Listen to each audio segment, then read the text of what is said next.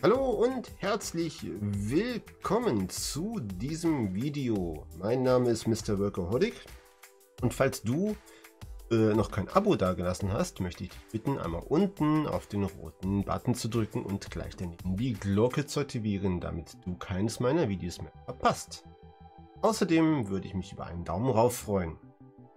Du siehst, ich habe hier schon ein paar Sachen vorbereitet. Das sind Schattenmorellen bzw. Sauerkirschen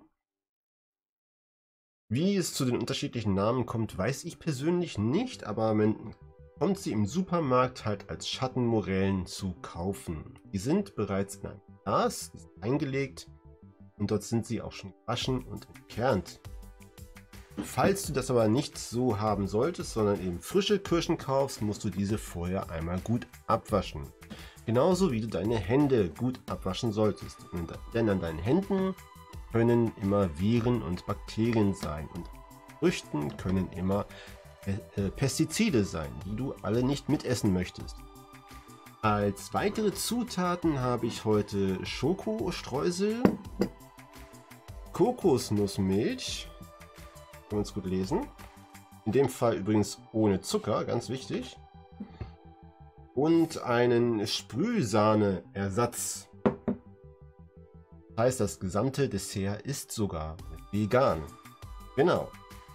Als Materialien habe ich einfach nur mein Dessertglas und einen Teelöffel. Mehr brauche ich nicht.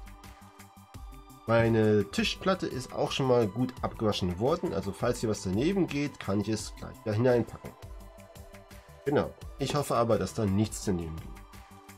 So, nun fange ich mit meinen Schattenmorellen an und gebe diese einfach direkt in mein Dessertglas.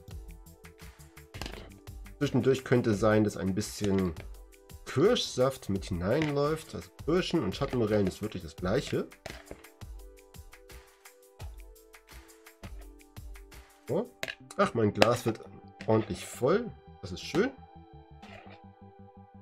Man sollte aber nicht einfach reinkippen. Das würde nicht funktionieren und würde eine ganz schöne Sauerei geben. So, abtupfen. Gut. Nun gebe ich meine Kokosmilch einmal direkt dazu. Gebe diese hier einfach langsam an der Seite hinein. So lange bis meine Dessertschale etwas über die Hälfte gefüllt ist.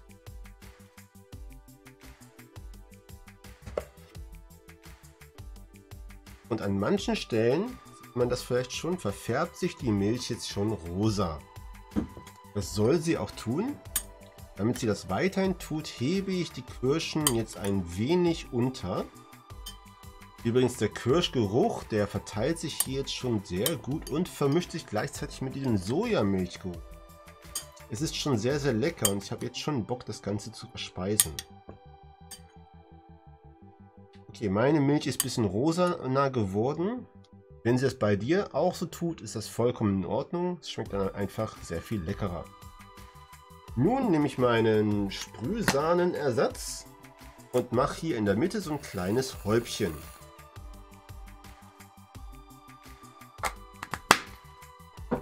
Und als Krönung des Ganzen nehme ich noch einen Teelöffel Schokostreusel, garniere das Ganze einmal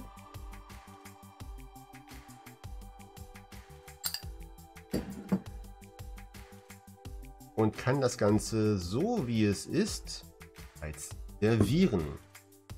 Falls du es im Sommer herrichten solltest, empfehle ich dir, das Ganze nochmal für 20 Minuten in den Kühlschrank zu stellen, damit es frischer wird. Wenn du es aber gleich verspeisen möchtest, ist es auch vollkommen in Ordnung. Danke dir fürs Zusehen, teile mein Video gerne, wenn es dir gefallen hat wünsche dir viel, viel Spaß beim Nachmachen und natürlich guten Appetit.